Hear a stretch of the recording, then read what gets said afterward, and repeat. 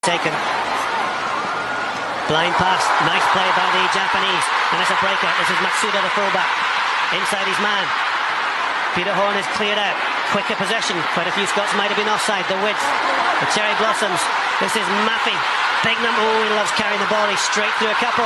Inside to this wing forward. Kim. Kim with the final pass. It's a glorious try by the Japanese.